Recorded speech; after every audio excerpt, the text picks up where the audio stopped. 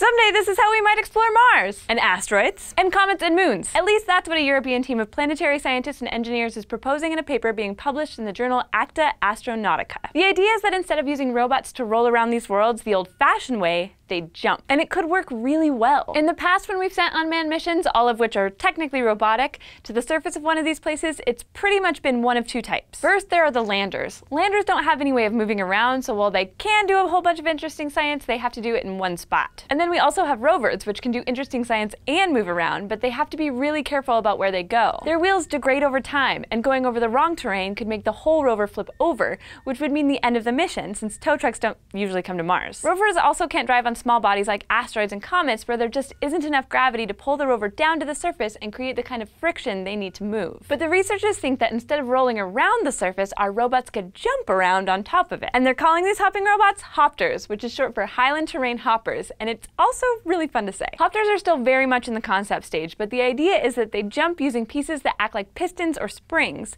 which would quickly expand to propel the Hopter upwards and in a certain direction. Robots jumping across the surface of an asteroid might seem like a weird idea at first, but it's actually super convenient. Astronauts on the moon, for example, noticed that the lunar regolith, the fine surface rocks and dust, made it tough to walk normally. But they could hop around just fine. In the same way, robots that jump across the surface of a planet or moon might have an easier time and might have a better chance of not getting stuck than rovers do. Durable hopters that can flip themselves over wouldn't have to worry about terrain in the same way that rovers do either. Plus, unlike with the rovers, where smaller worlds with less gravity are a problem, less gravity would just mean farther jumps for a hopter. But one of the main advantages of hopters would be their size. A fully functioning hopter could be as light as 35 kilograms, since all it has to do is be able to jump and hold an instrument or two. Compare that to Curiosity's 900 kilograms with its big wheels and a whole set of instruments. The smaller and lighter hopters are, the easier it would be to send a bunch of them somewhere, like our own little roving army of robotic rabbits. And the farther they could jump. The jumps could also depend on what kind of hopter you're talking about, because there could be all different kinds of jumping robots, meant to explore different places. Mopters, for example, would be designed for places like Moon, Mars, and Mercury, hence the M in the name,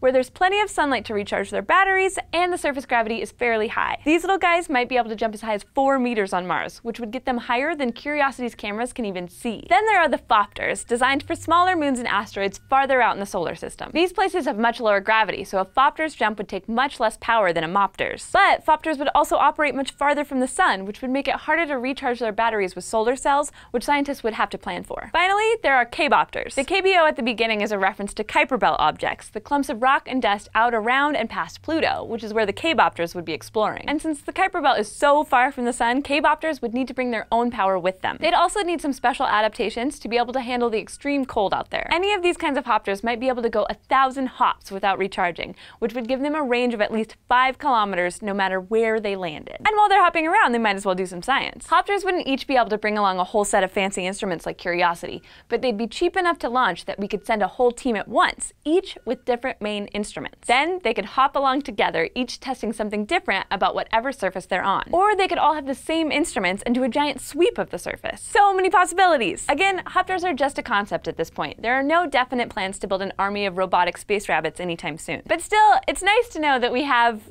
the option. Thanks for watching this episode of SciShow Space, and thanks especially to our patrons on Patreon who keep us hopping along. If you want to help us keep making episodes like this, just go to patreon.com slash scishow. And don't forget to go to youtube.com slash scishowspace and subscribe.